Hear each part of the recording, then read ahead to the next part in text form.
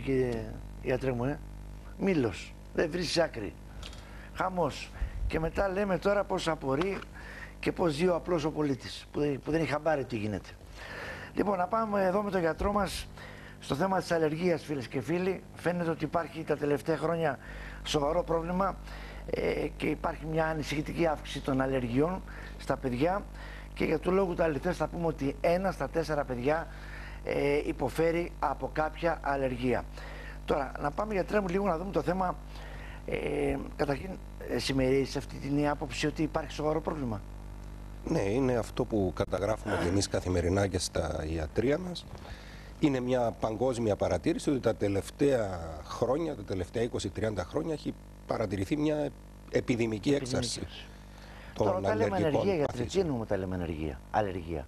Αλλεργία σημαίνει μια μη φυσιολογική αντίδραση του οργανισμού, των αμυντικών μηχανισμών του ε, οργανισμού ε, σε κάτι που θεωρητικά δεν θα έπρεπε να προκαλεί τόσο έντονη αντίδραση. Γι' αυτό ε, από αυτόν που επινόησε και τον όρο σημαίνει άλλο έργο. Δηλαδή ε, δεν είναι η φυσιολογική απάντηση σε έναν ξένο εισβολέα, είναι η ανώμαλη απάντηση σε ένα ερέθισμα που κανονικά δεν θα έπρεπε να μας Έχει να προκαλέσει. κάνει όλο αυτό που λες γιατρέ με το μηχανισμό άμυνας του δικό μας, του οργανισμού. Ακριβώς. έτσι. Είναι, ε, είναι αντίδραση του ανοσοποιητικού μας συστήματος. Μάλιστα. Ε, κάποιο συγκεκριμένο τρόπο ε, σε πρωτεΐνες ε, ε, του περιβάλλοντος, οι οποίες υπό κανονικές συνθήκες δεν θα έπρεπε να προκαλούν τόσο έντονη αντίδραση. Τώρα όλα αυτά τα αλλεργιογόνα που προκαλούν και τις αλλεργίες, όλα αυτά τα πράγματα, ε, πώς αντιμετωπίζονται.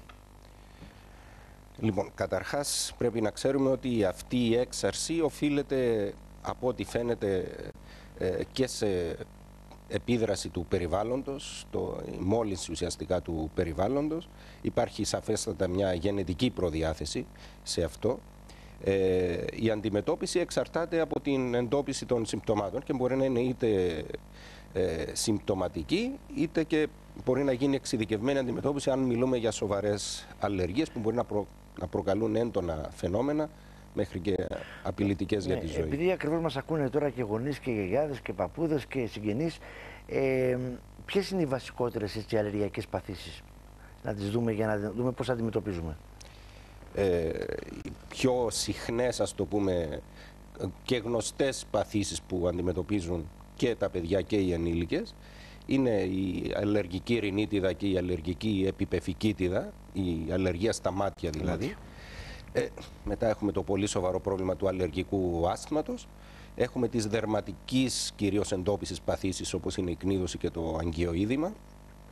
Έχουμε τις τροφικές αλλεργίες, οι οποίες μπορεί να εκδηλωθούν από πολύ νωρίς σε τροφές όπως είναι το γάλα, το αυγό, η ξηρή καρπή. Τροφικές αλλεργίες και- δηλαδή. Οι τροφικές αλλεργίες.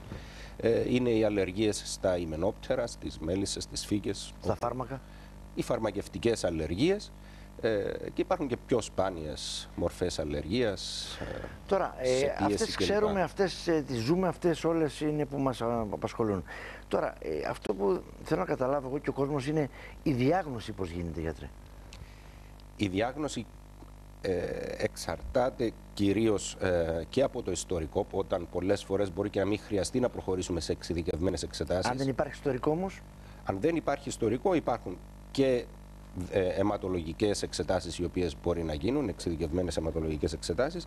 Ε, πιο αξιόπιστες φαίνεται να είναι όμως οι δερματικές, ε, εξετάσεις, οι δερματικές δοκιμασίες, οι οποίες πρέπει να διεξάγονται βέβαια από ειδικούς, από αλλεργιολόγους, ε, σε ελεγχόμενο περιβάλλον ε, και μπορούν να καταδείξουν με ακρίβεια ποιο είναι το υπεύθυνο αλλεργιογόν.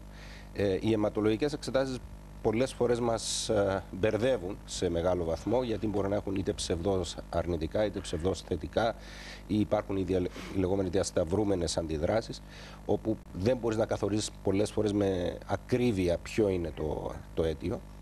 Ε, όταν υπάρχει η έντονη υποψία για κάποιο συγκεκριμένο αλλεργι- αλλεργιογόνο, το οποίο προκαλεί την αντίδραση, θα πρέπει να απευθυνθούμε στους ειδικούς για να κάνουν τις τώρα εξειδικευμένες επειδή εξετάσεις. για, το, για τους γονείς μιλάω, ε, τι πρέπει να γνωρίζει ένας γονιός, ο κάθε γονιός, όσον αφορά τις αλλεργίες, για να μπορέσει να δράσει κιόλας; Ακριβώς. Καταρχάς, ε, πρέπει να ε, να αναγνωρίζουμε ποιο είναι το πιο σημαντικό πρόβλημα, στο πούμε, στην, ε, στην εικόνα του αλλεργικού παιδιού.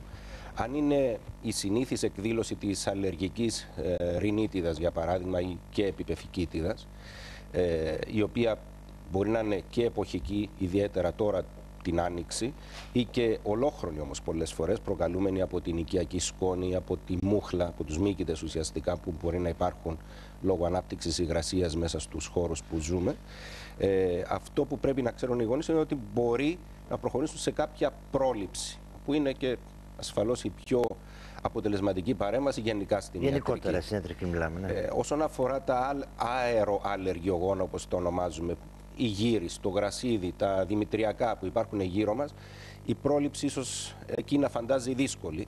Ε, Όμως και πάλι, αν γνωρίζουμε ότι υπάρχει πούμε, μια συγκεκριμένη αλλεργία στην ελιά, για παράδειγμα, που είναι πολύ διαδεδομένη στην ε, χώρα μας, ε, αποφεύγουμε για παράδειγμα τις βόλτες μέσα σε ελαιώνες ή αποφεύγουμε τις βόλτες με ανοιχτά τα παράθυρα, ε, ενεργοποιούμε πάντα τον κλιματισμό ή τα φίλτρα του αυτοκινήτου μας αν κινούμαστε με αυτοκίνητο.